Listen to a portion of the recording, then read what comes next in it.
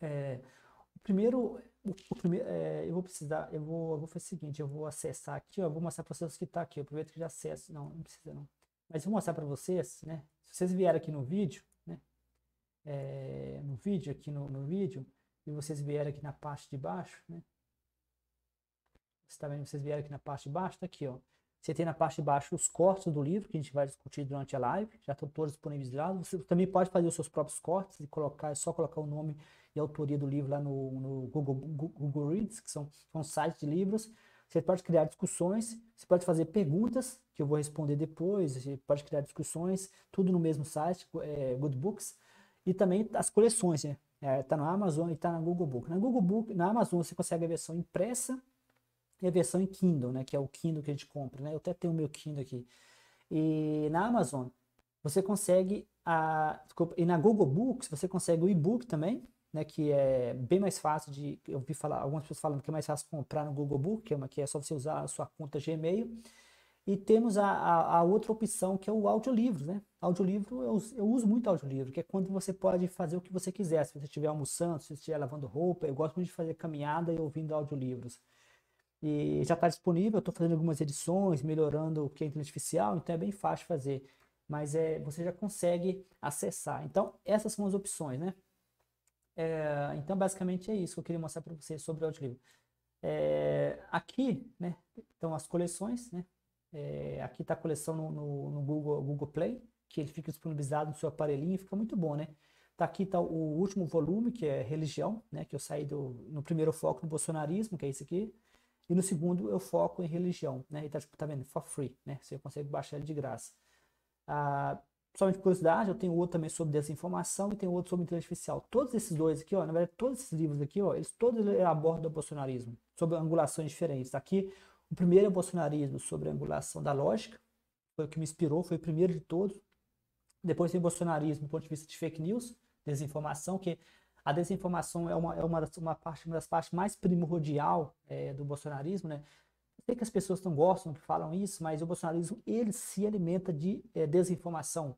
Ah, mas o PT mentiu também, mas é verdade, mas não houve nunca na história do Brasil uma coisa tão sistêmica, né? Eu tenho sempre que conferir o, tenho sempre que conferir aqui, porque eu estou sozinho, né? E vocês podem talvez me ajudar aí dizendo aí é, se o som está chegando, né? Mas é, deixa eu ver se está certinho aqui.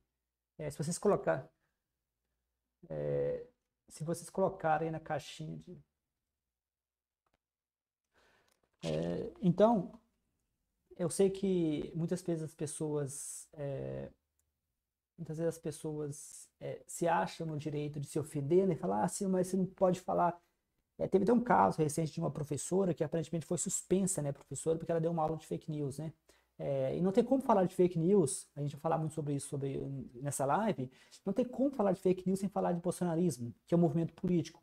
Não tem como você falar de Bolsonaro sem falar de religião. Então, é, eu tive meu, esse evento deveria ter sido é, presencial, em Antônio Pereira, onde eu moro. E o evento foi recusado no, no, Centro Cultural, e eu fico triste por causa disso, porque o tempo foi considerado sensível. Mas eu me pergunto, como pode ser sensível religião e política?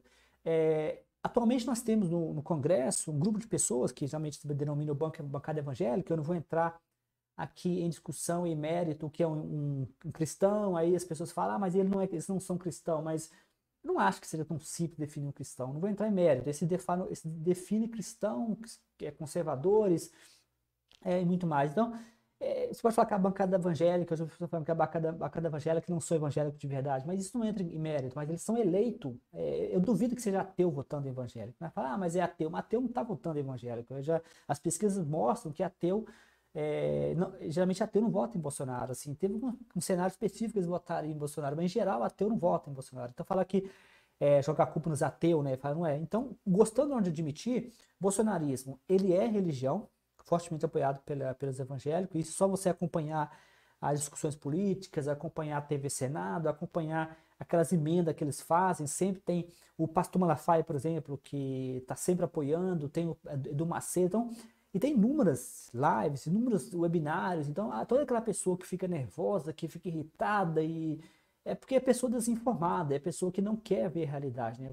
Quando você mostra para a pessoa a realidade, a pessoa fica nervosa a, a, a, a baixa, a, teve uma pesquisa que mostrou que, em geral, pessoas com baixa inteligência emocional, que são essas pessoas irritadinhas, se alinham com a direita, né? Ou extrema-direita, ou seja, elas tendem a ser religiosas, tendem a ser extremistas e tendem a ser. Isso é baseado em pesquisa e, e, e não foi feita no Brasil, essa pesquisa foi feita na Alemanha.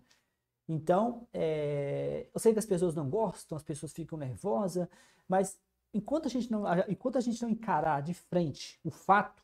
E qual é o fato? O fato é que existe no Brasil uma extrema-direita essa extrema-direita se apoia em fake news, em notícias falsas.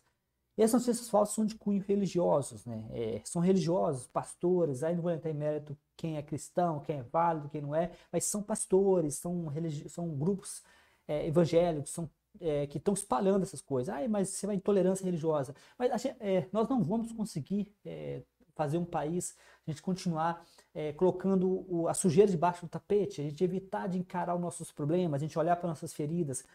O Brasil é um país laico. Por ser um país laico, é, eu, eu, ouço muito pastores é, nessas discussões online, deputados que se dizem pastores, deputados que se dizem evangélicos, dizer que nós estamos 90% da população, que é os cristãos, aí nós podemos criar leis que nós queremos. Não funciona bem assim. O Brasil é uma democracia, não é uma teocracia. Apesar de que a maioria, numa democracia, eles sempre ganham, ou seja, a maioria tem o direito de fazer as leis, fazer as, as, as é, fazer os, o, o, as políticas públicas, é, existem regras para isso. Né? Nós temos uma Constituição, e a nossa Constituição brasileira não é a Bíblia. A Bíblia não é Constituição de país nenhum, e menos ainda do Brasil. Então, quando um religioso ele, ele, ele, ultrapassa a linha, né, que é o caso, por exemplo, do. do, do e, tem, e tem inúmeros casos, por exemplo, de. Tem um caso de um deputado pastor que, para se definia evangélico, queria criar uma lei que é, que ia prender pessoas por seis anos por criticar a Bíblia ou alterar a Bíblia, mas aí, aí muitos falaram que é inconstitucional, você não pode prender pessoas por motivos religiosos. Né? Mesmo, mesmo que eu faça crítica à sua religião, eu tenho dois livros sobre isso, eu já fui atacado, eu já, eu já lancei vários livros criticando cientistas, criticando, mas o mais difícil lançar foi o bolsonarismo e agora esse livro sobre religião, porque é incrível né, a, a agressividade de pessoas que se declaram cristãos, né? A pessoa se declara cristão, é, e tem uma intolerância, uma agressividade ah, que não quer, assim, eu, eu fico impressionado, porque por trás da religião tem todo um discurso paz e amor, mas na prática a religião ela é bem complexa. Então, é, esse é o primeiro, fala sobre o bolsonarismo, esse fala sobre inteligência artificial, que é um pouco mais focado em artificial, esse fala sobre desinformação, todos eles estão correlacionados. É, então, se você for ler, se você quiser, ah, eu quero ler, começa por esse, né? Depois pula para esse, que é religião, ou preferir vai direto para religião, não deixa de ler esses dois que falam sobre desinformação. É, eu só gostaria de dizer para vocês que eu estou o tempo inteiro aqui olhando